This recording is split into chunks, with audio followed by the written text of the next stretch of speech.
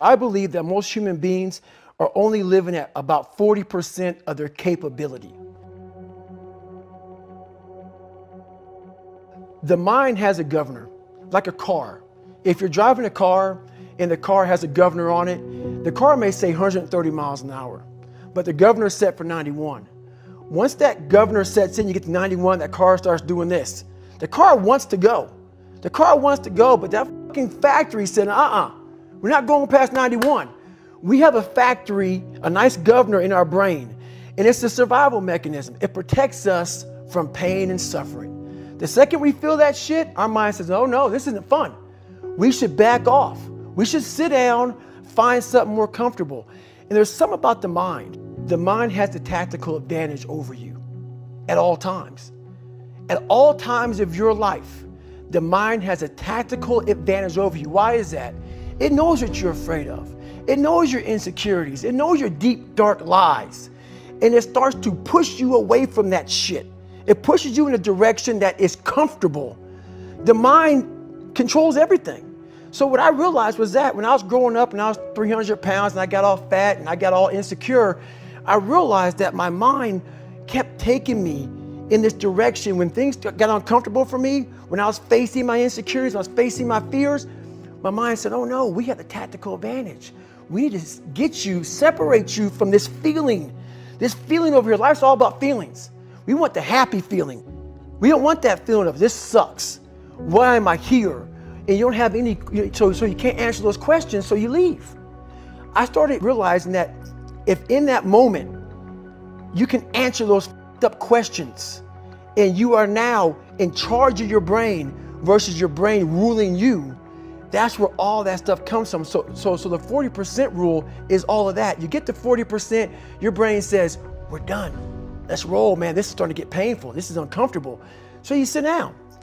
You have to figure out ways, and everybody's different. That's how the book kind of talks about, like we all have these things about, you know, five steps to this and, and four steps to this. It's, it's a lot more than that. That's all bullshit. It's, it's a practice that you have to, it's a habit. So if you know that at 40%, I'm still, you know, I'm feeling pain. At 40%, I'm feeling pain. That's where the 40% rule kicks in. Now it starts. Okay, I'm, I'm feeling pain. My mind's saying all this shit to me. It's saying, get out of here, run, flee. The fight or flight kicks in. Okay, we're done. We're not good enough. It starts telling you all these things. You start to believe it because the mind controls all. This is the time where you have to gain control back of your mind. It's okay, let me see if I can go 45%. And once you start giving yourself more and more hope and start realizing, okay, the mind starts to be, okay, what, what are you doing?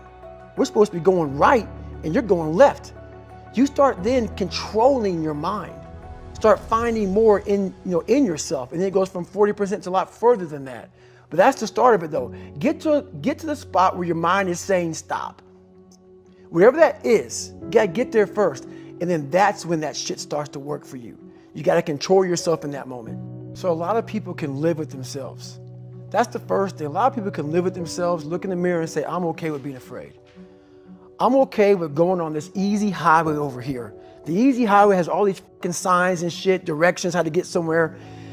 And you have to first be uncomfortable with how you feel about yourself. With that voice that a lot of us like to run away from, we all have it. We all have that voice that say, hey man, you know, you're you're kind of wimping out right now. You're kind of being a little punk right now. But a lot of us say, okay, that's okay. It's okay to tell these little white lies to ourselves. So we first have to face the real you.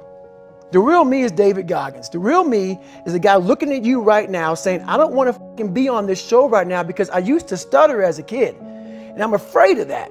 I'm afraid that here in a second, I'm going to start stammering and stuttering, and the whole world is going to know that I have all these issues. But that's when I see right now, okay, Goggins, you got to go on this show. That's Goggins. Goggins is saying, okay, David Goggins, you're a punk. Life made you this way. We can't live like this. We can't live in fear. We can't live in judgment.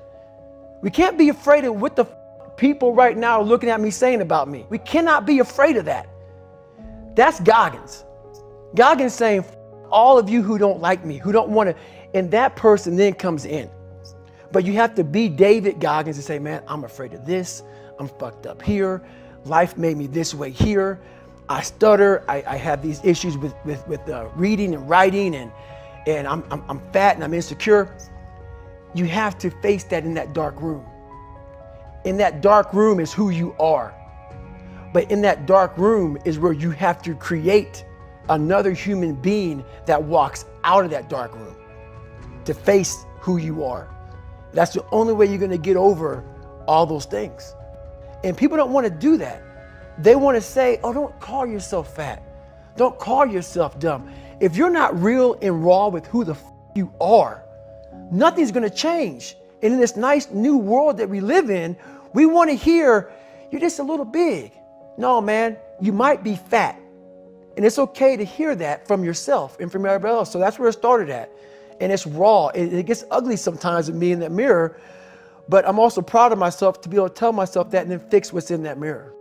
So the first thing about it is once you realize it, and you have to realize it, you got to call yourself out.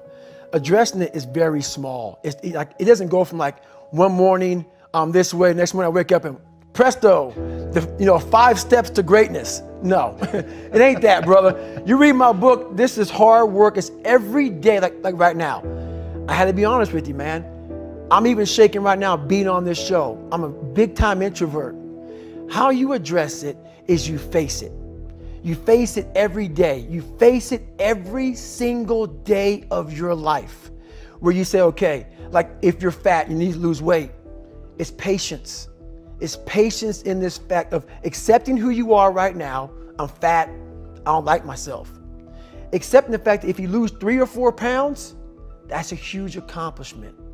You have to live in your own world. You cannot judge yourself. That's why social media and all these things are horrible. You can't judge yourself off of the so called competition that we have made up in our mind. The things that how people look, how people act, how smart someone is. This is a race that you run completely alone. A lot of folks talk so much shit about, hey, I'm gonna change your life. I'm gonna do this, I'm gonna do that. Are you accountable for what you're doing? Are you accountable? And I mean to the T for what you're saying. I am. And that's where it started. It started with that total, total accountability of let's not lie today. Let's tell people the truth about who you are. And when you can get on and tell someone, like I'm doing right now, exactly how up you are, that's the goal in life.